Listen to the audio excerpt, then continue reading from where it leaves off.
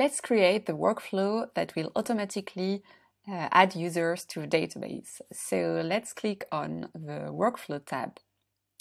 So um, one important thing to know is that workflows are defined for each page. So here we are on the index page, so we could define the workflow for the index page. Um, a workflow uh, is basically uh, you defining what your app will do. And workflows are triggered by events. Uh, you can define your workflows from the workflow tab, or you can also define them from the design page. Uh, to do so, uh, you go on the design page and you'll uh, click on the CTA.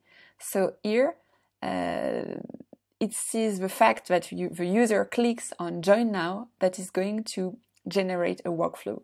So you can double click on join now.